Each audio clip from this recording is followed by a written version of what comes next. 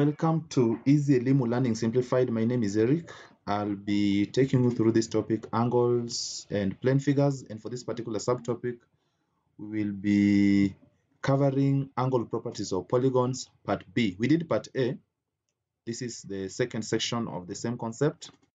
And uh, we have uh, a few questions on, um, on the same to help us with illustrations on uh, on how to solve problems involving angle properties of polygons and uh, and and and then uh, of course at the end of the lesson we'll be having some assignment some questions just to help you practice and to help you check on your understanding of the concept as we are going to discuss during this lesson so uh, one is that you should be able to remember that uh, sum of all interior angles in the polygon, whether regular or irregular. Remember, there are two types. We have those that have all their sides the same in size, and uh, of course, size sides and interior angles equal in measure. And then we have those that have got certain angles different from others, and even the sides. Some sides are longer, others are shorter. So we have varied uh, sizes when it comes to the sides of the given polygons. So sum of all interior angles given by the formula. So we have this formula here, 2n minus 4 into bracket 90. Or this this this formula can simplify to this one here, you know, or this this the original can simplify to the other one, you know.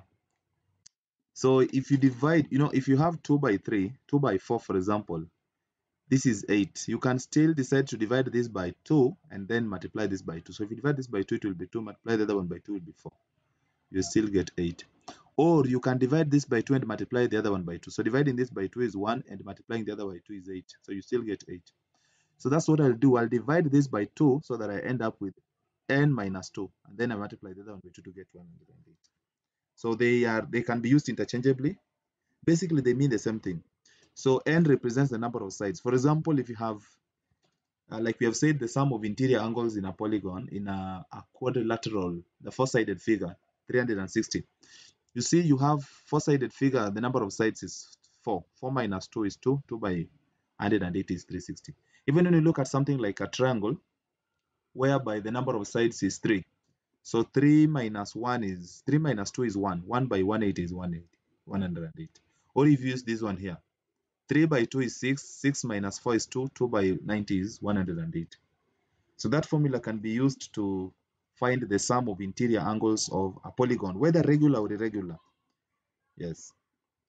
And of course, now to find the size of each, that is, if you have regular polygons, then the size of each interior angle, I representing the size of each interior angle, is given by 2n minus 4 into bracket 90, you divide by the number of sides.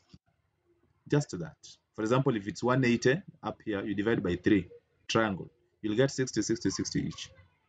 Or, or you have i is equals to n minus 2, bracket 180, then you divide by n. This applies for regular polygons only, you know, where you get the number of, I mean, the size of each interior angle. And of course, now, if you have uh, again if you have like a triangle for example i've just used this the, the least polygon the, the polygon with the least number of sides. Then you extend maybe this. You know this is an exterior. So i is here exterior is here. So you see interior interior plus exterior is 100 and it is they form what what we call sum of angles in a straight line. That's what we're saying one exterior angle plus the interior angle is equals to 180 degrees. And of course, for all the polygons, all of them, sum of exterior angles is usually 360 degrees. So if you want to know if, like for example, in the case of regular polygons, just take n times the size of each exterior angle will give you 360 degrees.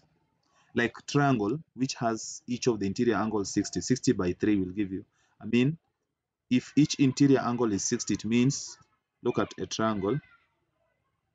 So if the interior angle is 60 it means exterior angle will be 120 degrees. So 120 even when you extend this you'll still get 120 there. That is equilateral triangle. So this is 60 you extend this you still get 120 here. So you add 120 plus 120 plus 120 is 360 it is the same as taking 3 which is the number of sides times 120 will give you 360 degrees you see. So this formula is used for the sum of all the interior angles i mean the exterior angles is 360 degrees. So instead of adding all of them you can just take one. That is if it's a regular polygon one exterior angle you multiply by the number of sides will give you 360 all of them the sum of all the exterior angles will be 360 all the time whether regular or irregular. But this formula only applies for regular. Where all the interior angle and exterior angles are the same. Yes. So you have then exterior angle can then be given by divide both sides by n 360 over the number of sides. And again number of sides you divide both sides by if you want the number of sides divide both sides by e. So you have 360 360 divided by each exterior angle. So this formula here this one and these are very very important. You can see they are here so let's look at examples. Find the interior angles of a regular polygon. Oh the interior angles of regular uh, regular hexagon. So the number of sides it's, it's it's the number of sides is six. So the interior angles of, of, of the hexagon are these find the value of the smallest angle. So you need to find the sum. So you have uh, sn is given by n minus 2 bracket 180 that's the sum of all the interior angles we need to, to get that. So the Sn here will be 6, 6 minus 2 is 6 minus 2 is 4. So this will be 4. No, it will be 6 because the number of sides is 6. 6 minus 2 and then you multiply by by 180. So you write one 180 next to it here. So uh, then that is going to be equal to 4 by 180 degrees. So what is that going to be? So we have, uh, you can use the calculator 4 times 180. The calculator will give you 720. 720. Yeah, so we have, you have to add all these. So 2x plus a half of x plus 40 plus 110 plus 130 plus 160 degrees, this equals to 720 degrees. Yeah, 720 degrees. The sum, so you add 110, 150, 280, you know, just, just add all this. So this will be two and a half of x. So two and a half, maybe, I'll work out the LCM here is 2. So 1 goes into 2 two times, 2 by 2 is 4. 2 goes into 2 once. So this is 4x. 2 goes into 2 once. 1 by 1 is 1x. You know. And then plus all these numbers. All these numbers you can use the calculator. So you have 40. And then you add to 110. And then you add to 130. And then you add to 160. And so you get 440.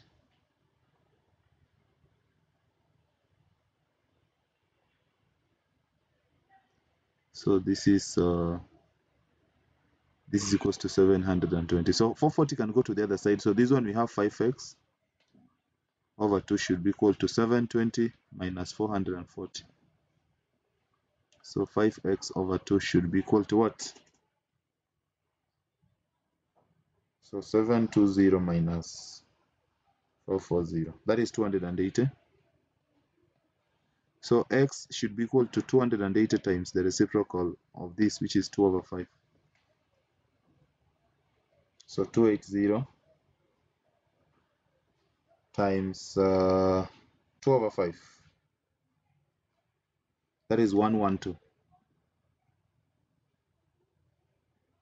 That is the value of x. So the first angle, so you can list them. The first one will be 200 and you know 2 by x and x is 112 so 224 the second one will be a half of this which is 56 The third one, of course, is 40, 110, 130, and 160 degrees. So which one is the least? 40. So least angle or the smallest. So smallest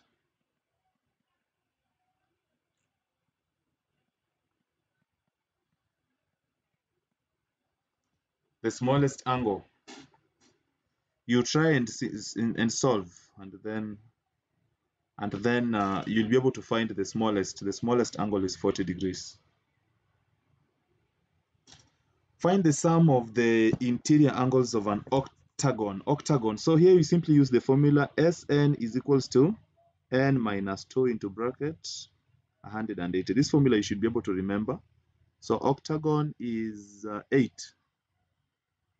minus 2 you multiply by 180 degrees. So that is 6 now n is 8 octagon number of sides is 8 so 8 minus 2 is 6 6 by 180 so 180 by 180 by 6 so that is 1080 that is 1080 degrees. Just as simple as that. The sum of the interior angle of a polygon is 10 1980 find the number of triangles. So number of triangles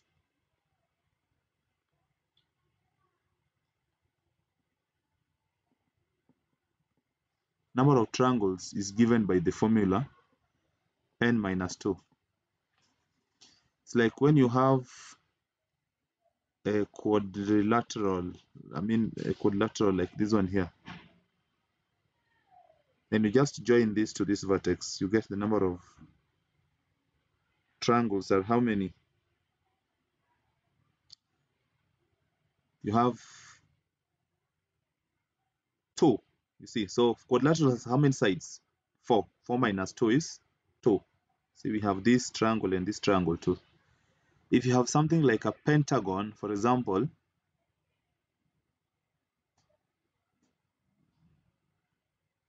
this is a pentagon, one, two, three, four, five. Then you can join this to this, and then you join this to this. So how many sides do we have? How many triangles do we have? One, two, three. So number of triangles is given by, so number of triangles, the formula is here. So 5 minus 2 is 3. See, we are getting the number of. So that is the, the n minus 2 represents the number of triangles. And of course, that's why we multiply by 180 because now each sum of the interior angles in a triangle is 180. That's why the sum of all the interior angles is given by n minus 2 into bracket 180 degrees because the sum of interior angles in a triangle is 180 degrees. We already know that. But then you find the number of triangles by taking the number of sides less 2. So you subtract 2. So basically what this is what we are doing. So we'll just use the formula for sum, which is uh, n minus 2 into bracket 180 degrees. But now what you're looking for is the number of triangles, n minus 2. So I will not open up this bracket. I'm not looking for the number of sides, you know. So I have 1980 is equals to n minus 2 into bracket 80. So I'm looking for n minus 2 you know so so this is going to be so divided by 180 divided by 180 so we have n minus 2 equals to so 1980 minus divided by 180 we get 11 so the number of triangles are 11 you see so number of triangles